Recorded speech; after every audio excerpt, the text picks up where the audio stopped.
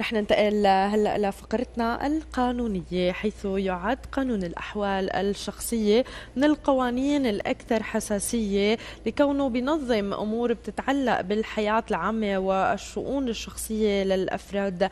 إذ يعنى بقضايا الطلاق والزواج والإرث وحضانة الأطفال وما إلى ذلك من قضايا بتأثر على حياة المواطنين. أكيد ليا فتزامنا مع حملة 16 يوم مناهضة للعنف ضد المرأة اللي بتبدأ بأواخر تشرين الثاني من كل عام. ما هو واقع المرأة السورية قانونيا؟ وما هي آخر التعديلات في قانون الأحوال الشخصية؟ موضوع مهم يمكن تعنى فيه جميع السيدات اليوم في سوريا. رح نناقشه مع المحامية مها العلي ناشطة في مجال المرأة والأطفال. يسعد صباحك وأهلا وسهلا فيك صباح الخير. صباح الخير أستاذة وأهلا وسهلا صباح فيكي. صباح الخير عليكم وعلى المشاهدين. يعني آه، بالبداية آه، قانون الأحوال الشخصية آه، يعني موجود بين إيدينا ولكن كثير بده حملات توعية كثير لازم المرأة تعرف شو حقوقها تعرف شو الشيء اللي هي بتقدر تعمله كيف فيها تدافع عن قضايا بتضايقها بحالها. خلينا نحكي عن طرق التوعية يلي اليوم نحن عم ننشرها بالمجتمع وخاصة للمرأة. آه، بالحقيقة أهم طريق للتوعية هو الإعلام لأنه كل الناس التلفزيون بفوت على بيتها. بالتالي آه، تحديدا يعني عن طريق التلفزيون بقصد أو الراديو. يعني المقروءة أكيد مهمة بس التلفزيون والراديو هن أكثر وسيلتين يمكن مواقع التواصل الاجتماعي كمان اليوم لأنه مواقع التواصل. بعد كثير كبير. مزبوط. بس يعني اجمالا ممكن بالمناطق البعيدة ما كثير توصل. الارياف إيه. أما الراديو والتلفزيون هو بكل مكان عم بفوت بيوتنا. بالتالي أنا بلاقيها هي أفضل وسيلة للتوعية بالقوانين الموجودة بشو بتقدر تستفيد من القوانين الموجودة. أنا ما عم بقول قانون إنه هو الأفضل أكيد لسه بده شغل هو منيح بس لسه بده شغل. بس فيني أنا بهذا القانون الموجود حاليا آخذ المواد اللي بقدر بستفيد منها كامرأة لاضمن حقوق. طيب خلينا نسلط الضوء على بعض النقاط آه، يمكن الهامة بقانون الأحوال الشخصية لأنه نحن خلال السنوات العشره الأخيرة تم تعديل قانون الأحوال الشخصية بعدد من النقاط الهامة مثل حضانة آه، الأطفال آه، للمرأة كثير من التفاصيل في كثير من النساء ما بتعرفها ورغم ذلك بعد لازم يتم يمكن الحصول على حقوق المرأة بشكل أكبر لأنه نحن عم نلاحظ ما دخل التطور ولا العصر الحديث ولا التكنولوجيا. آه، كل ما تطورنا لا للأسف عم يكون في اضطهاد للمرأة بشكل كثير كبير مو فقط بالعالم العربي على مستوى العالم نحن عم نحكي. فخلينا على كل النساء السوريات اليوم اللي عم تتابعنا نسلط آه، بعض النقاط الهامة بقانون الأحوال الشخصية اللي ممكن تقدر يمكن آه، تستفيد منها تقدر تدافع عن حالها تقويها وتقويها على الصعيد الشخصي. تمام. هلا أول شيء هو بالسنة الحالية اللي نحن فيها 2019 تم تعديلين صحيح. لقانون الأحوال الشخصية. مم. وكانوا تعديلات لا بأس فيها منيحة. أوكي بنحتاج أكثر بس نطمح للأكثر دائما. إيه، أكيد بس جيدة.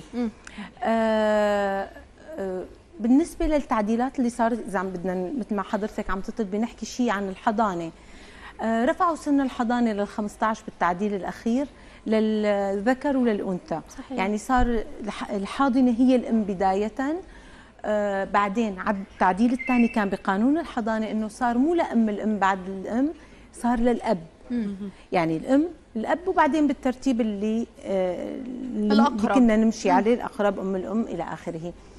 آه رفعوا سن الحضانة ل 15 ساووا بين الذكر فصاروا 2 15 وصار في شيء اسمه سن تخيير بال 15 ما كان سابقا. لا. كان بعد ال 15 يذهب الأطفال إلى الأب. اليوم عم نشوف في كانوا بعد ال 13 بعد 13 هلأ صار 15 هلأ صار 15 طبعا كان بعد 13 للذكر وللأنثى 15 15 هلأ صار 2 15 ما كان في سن تخيير هلأ صار في سن تخيير كان الأب هو الحاضن الثالث بعد أم الأم. هلأ لا صار الأم فالأب. الحاضن الثاني. الحاضن الثاني.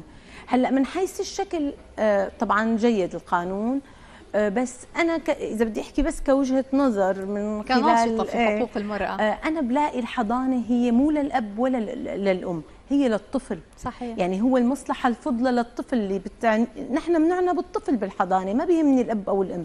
فبالتالي أنا يفترض أبحث عن الأجدر بالحضانة. يعني ما أنا كوجهة نظر برجع بقول وبجوز ما تكون صح مو الأم الأب أو الأب الأم ترتيب لا أنا بشوف مين الأجدر بحضانة هذا الطفل يفترض يكون في لجنة تدرس اقتصاديا الوضع المادي للأطراف والنفسي. اجتماعيا ونفسيا آه هو أهم شيء النفسي. تمام من كل النواحي أنا أدرس الحالة الاجتماعية والقانونية والنفسية.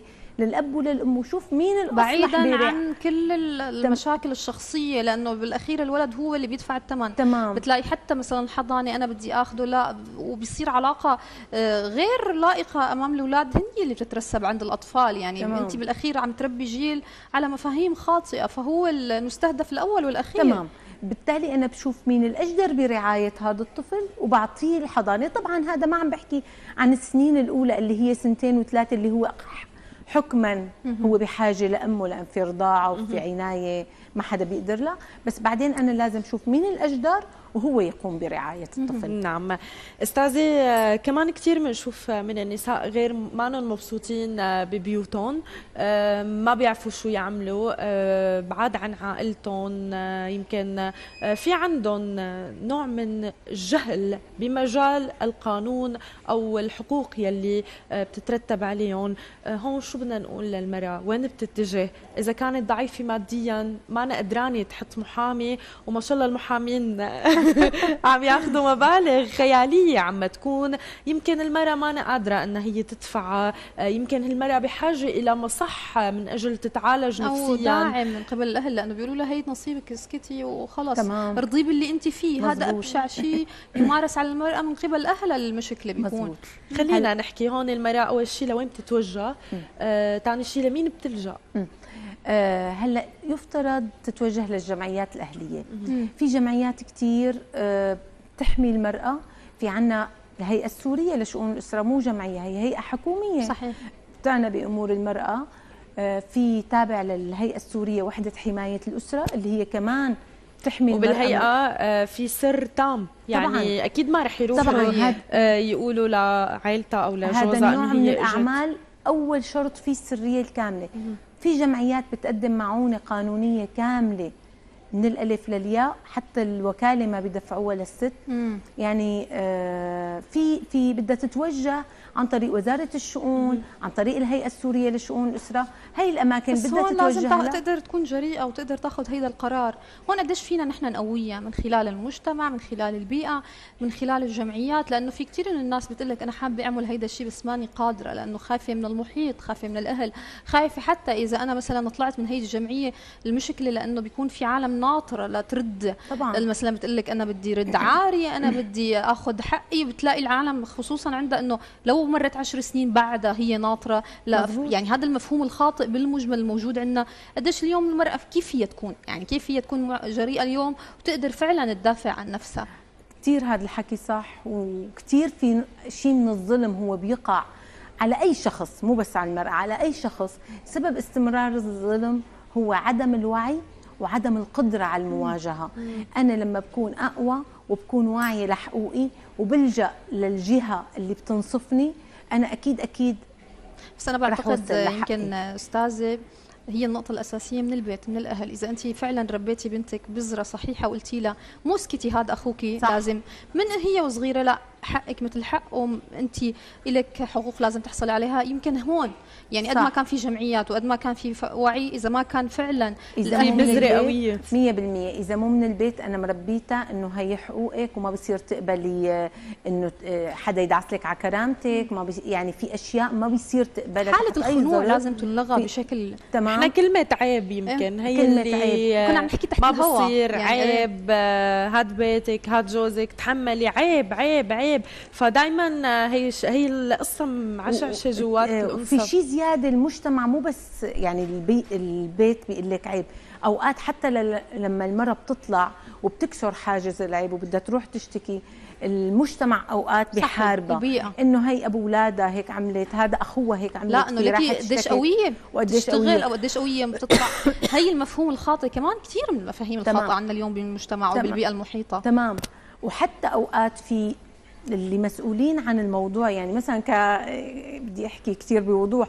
مثلا كرجال شرطة بالمخفر يعني أنا صارت معي إنه أنا موكلتي آه، يعني واقع علي عنف شديد من زوجها. فلما بس إنه آه، بدها تنظم ضبط هي ما بدها تشتكي عليه على فكرة هي بس بدها تنظم ضبط. كحماية. بس مشان تورجيه إنه أنا بقدر أعمل ضبط وأنا بقدر اذيك أنا ما رح أعمل شيء بس أنا مرة ثانية رح أعمل شيء وهي الضبط موجود.